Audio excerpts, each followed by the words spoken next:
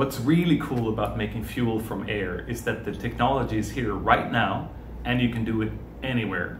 All you need is air, renewable electricity, and water.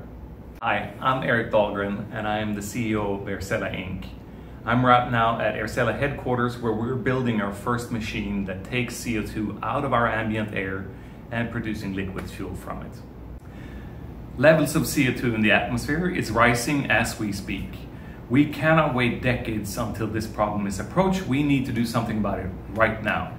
Hi, I'm Klaus Lackner. I got into the direct air capture discussions very, very early in the 1990s and have been working on it for that time. Eric and I have actually developed uh, technologies while he was a PhD student on this topic, which allow us to actually do this not just on a large scale, but on a very small mass manufacturing scale, and that's the way to scale things up. We truly believe that our approach is the fastest way to bring carbon neutral fuels to as many people as possible, to as many places as possible, as soon as possible.